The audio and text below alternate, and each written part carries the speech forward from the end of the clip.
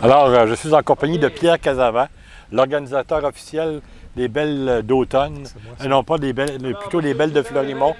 Alors, on sait qu'on a la, la combienième édition, la 26e?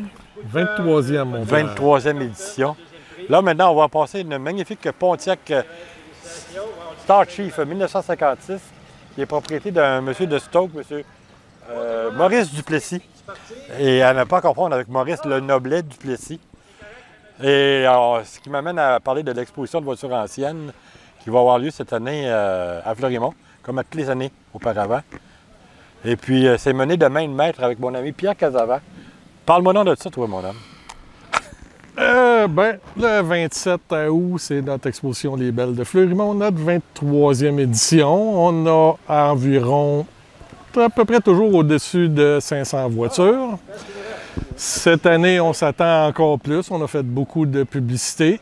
Et euh, pour les amateurs de musique, nous aurons Mary and the Moonshiners qui vont nous faire un, un beau petit set de musique. Sans compter qu'on a notre DJ, Pierre, qui est là chaque année depuis La- 20 ans, comme faut, si c'est pas 23 ans.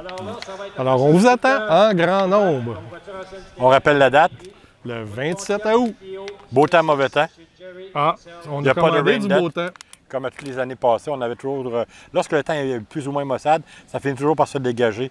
Et puis, on a, comme euh, l'année dernière, on se souvient qu'il y avait eu euh, apparence de pluie toute la journée, mais pas une goutte de pluie.